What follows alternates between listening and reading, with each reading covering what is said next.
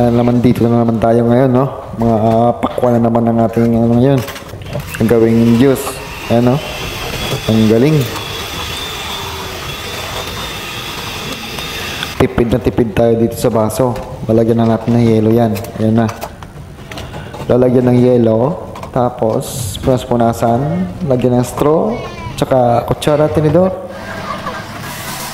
Ayan naman, pansit kanto na naman natin lutuin. Lagyan ng itlog sa kawali. Ayun, may na hulog na isang pirasong itlog. Ayan, nilagyan ng cheese, hotdog. At saka tinupi-tupi sa kawali para maluto. Ayan na. Nilagay sa lagayan ng karton at nilagyan ng mga pampagana. Maanghang na spicy na mga ingredients. Ayan naman si kuya. Pinupukpok yung durian para daw mag, ano, ayan o. Ang bilis lang tanggalin yung laman niya. Pupukpukin lang pala yung diskarte dyan, no? Yan. O, di ba? Ang galing.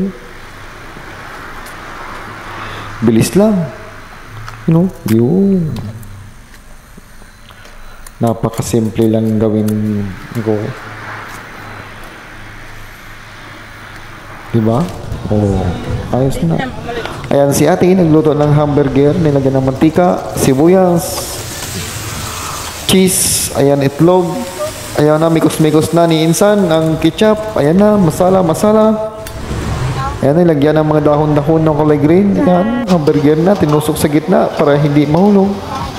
Ayan si kuya, minikos-nikos na naman yung itlog at ayan, ginawa, ayun, may mga food coloring. Ang dami ng palaman yan, kuya. Mga siopaw na yan, oh. Ba, nilagyan ng dilata. Hindi ko kung anong panak na yan. Para pizza na naman yan, kuya. Ayan na. Yun. Tinupi. Gawang tinapay. Yun, di ba? Triangle, triangle yung ginawa niya. Oh.